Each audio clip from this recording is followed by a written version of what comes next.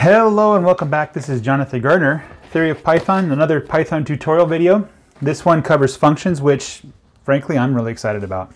Functions are a very important concept in computer programming. In fact, it's so important that it's the foundation for what we might call functional languages.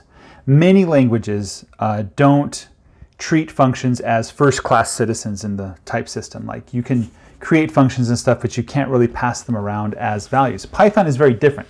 In Python, a function is just another object. So let's go over what functions are and how they behave. Okay, so functions are an object. And there's actually many different types of function types, right? We're not going to really get into that right now and try to confuse you. Uh, they are callable. We'll talk about how to call functions in a minute. Okay, and when you call them, you're going to pass in some parameters. I'm just going to call them params. Okay, and then it's going to run some code. And then it's going to give you some kind of result. So this code, it could have what we call side effects. Okay. Um, so it may modify some of the other things that are in memory. All right. And then it returns the result at the end. Okay. All right. So there is a concept called a pure function. Okay, pure functions, they have no side effects. And the result depends only on the parameters.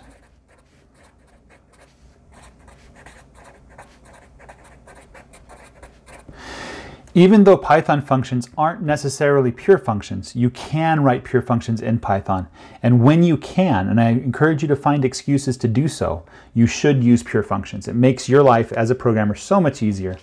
Uh, it makes the code so much more portable. So many good things happen because of using pure functions. Okay, so how do we use functions? Well, we have some expression that evaluates to a function. Then directly after that, we have a parenthesis. And then inside of here, we're going to pass a parameter list. Okay. And that parameter list is basically just a list of expressions. It can be one expression or no expressions. You can have a comma at the end. You can have, if you have multiple expressions, they're separated by commas, right? So this is value, uh, uh allowed as well. There is actually something called keyword parameters that we're not going to cover yet. We'll cover that as we get into a more serious definition of functions, including dictionaries and sequences and stuff like that. But I just wanted to get a really early introduction to functions. We're not going to talk about the keyword parameters yet. Uh, let me give an example. Suppose that we had a function called, we had the variable 2, and that equals some function. Okay, and the, the nice thing about this function is it doesn't take any parameters and it returns the number 2, right? So if we type 2 and we call that, that's going to give you back 2. Okay, so we call this with no parameters, right? And we could also have another function called double equals some function defined somehow, right? When we call double, we pass in a single parameter. Let's say we pass in the parameter 7, and it doubles that, so it'll pass back 14. Okay, that's kind of how you call and use a function.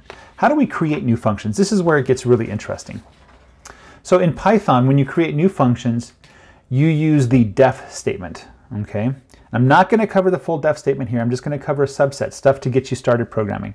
So you first start with def, D-E-F, okay?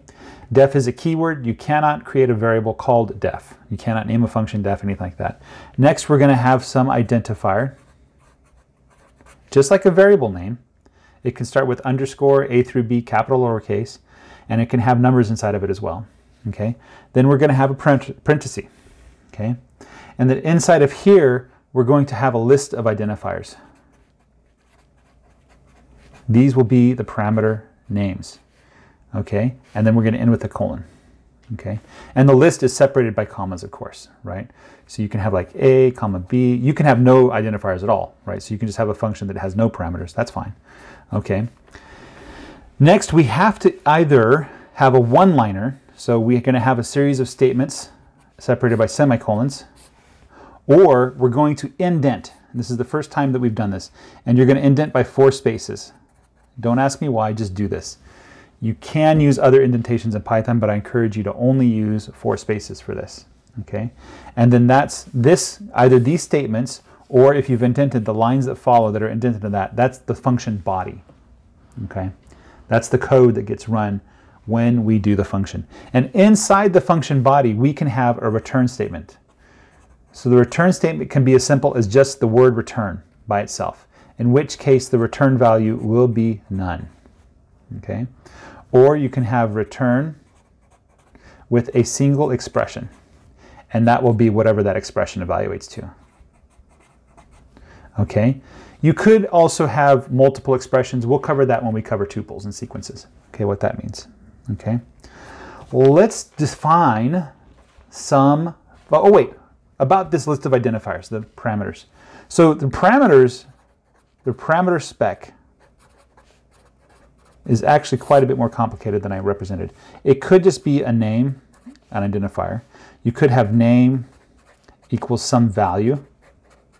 This will this this is a default value that will get set if nothing else is specified, right? It could be a name colon the type that is expected, and you can combine those two together. Name colon type equals a value. Some examples. So you could just have the parameter a. You could say a is equal to 5. So if the user doesn't specify the a parameter, then it's set to 5. You could say a is a float Okay, A is a float, or should be a float, and it's equal to 1.0 if it's not specified. Those are all valid parameters that could be in the list of parameters up here. Okay. Let's talk about what is really going on inside of Python when you call a function. Okay, so as an example, I'm going to have a simple function over here. This is going to be the function um, def double and it's going to take a parameter a, and we're just going to, you have to specify it, there's no default value, and it's going to return a times 2. Okay? Now, over here in my code, when I say double 6, okay, step 1 is it matches the parameters. Well, actually, it figured out what double was. When you define a function like this, it's assigning the function to the variable double. Okay, so double is just a variable. So first it matches the parameters. In this case, we have one parameter, and it expects one parameter. Okay. Next, it's going to create a new namespace. Okay, and I'm going to represent that with the sticky note here. Okay, and in this new namespace, it's going to say, look, the parameter name is A, the value is 6. So it's going to create a equals 6. Okay. Then step 3 is going to execute the function body.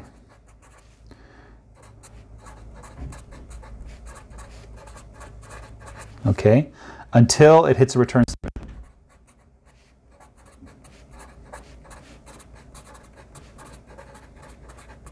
And then 4, um, or it falls off runs out of code. And then four, it's going to return the result, which is going to be none if you don't return anything. Okay, so we're going to execute the function body. So the first line of the function body is a statement, and the statement says return, and there's an expression here. So let's look at that expression. So it says look up A. So we go over here to our local scope, right? Not the global scope, with local scope first. We see that there is an A we see that its value is 6, so we say that's 6 times 2 is 12, and so it's going to return 12. And so the double 6 at the end is going to evaluate to 12. Okay, That's what's going on. So you have to get this concept in your head that when you're calling a function, you're creating a new namespace. This is going to be called the local scope. Okay, and it overrides the global scope. So let me give you an example of what I mean by that. Let's go ahead and throw away that scope because we're not calling it anymore. Let's say your code, we're going to run some statements. So the first statement we're going to run is we're going to say a is equal to 5. The next statement we're going to run, we're going to say def double a colon return a times 2. Okay, and then we're going to call double let's say 7 this time. Okay. Now, this statement, this A, could refer to the local scope for the invocation of this function. Okay. It could also refer to the global scope when you defined A outside of the function. Okay. In this case, well, for all function cases, it's going to first look at the local scope, the local namespace, and then if it can't find it there, then it'll go to the global scope. Okay, so in this case, this will evaluate to 14. If we change double, so we say def double, let's say b, and we're going to say return a times 2, then when we call double, let's say 10, what's it going to return? Well, it's going to invoke this statement in the local namespace with b set to 10, right? But in this case, we're looking at A, not B. So it looks in the local namespace, it doesn't see an A, so then it goes to the global namespace. It sees A is 5, so it is going to return 5 times 2, which is 10. That's the result of that thing. Okay. This concept of namespaces is probably extremely confusing for people, especially new programmers. So I encourage you to think about this and to ask questions about it and to experiment with it until you understand it. Okay.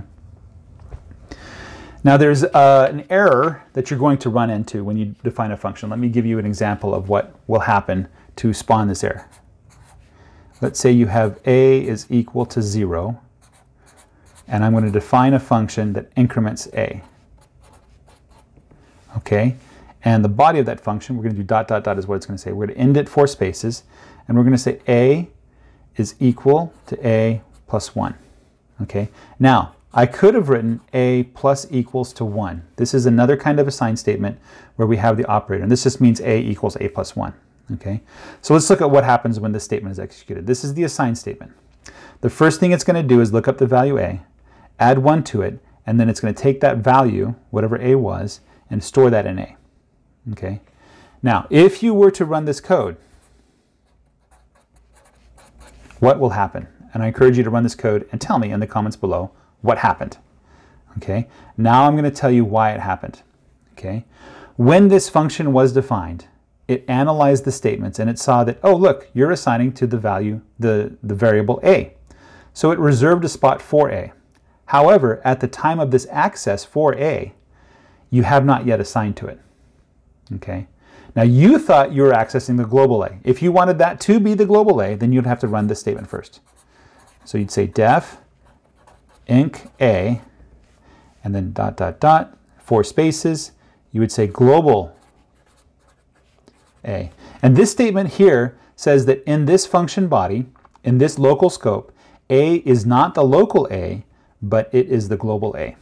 Okay, and then we'll do A equals A plus 1. Okay, and so in this case, when you call inc A, it's going to do what you think, since it returns none, there's no response. And then if we type in A here, it should show you 1. And if you call inc A again and look at A again, it should be 2. Okay, so that's what the global statement does. A very important statement. Hey guys, I hope you enjoyed this video. I hope you start experimenting with writing your own functions. Come up with ideas for new functions you can write. If you have ideas for homework problems, go ahead and put them in the comments. If you have a function that you've run, and you don't understand why it's not working, you can put it in the comments, I'll look at it, and in five seconds I'll basically figure out why it's not working. So I hope you enjoyed this. This is when programming really starts to take off. This is really the beginning of your computer science and your computer engineering or your program, your program software engineering um, career. Take care, guys. Bye-bye. This video is part of a series on the theory of Python. You can click on the left to see the playlist and on the right to support my channel. Thank you very much for your time.